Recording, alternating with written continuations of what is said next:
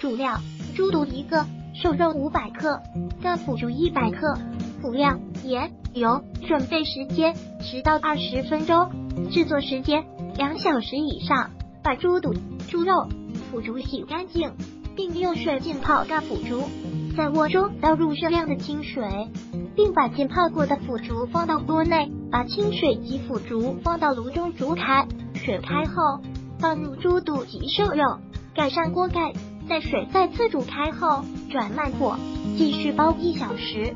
放入适量盐后关火，汤即成。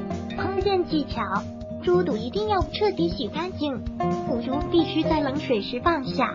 如果水开了再放，就不会变软了。如果喜欢本视频，请分享并订阅本。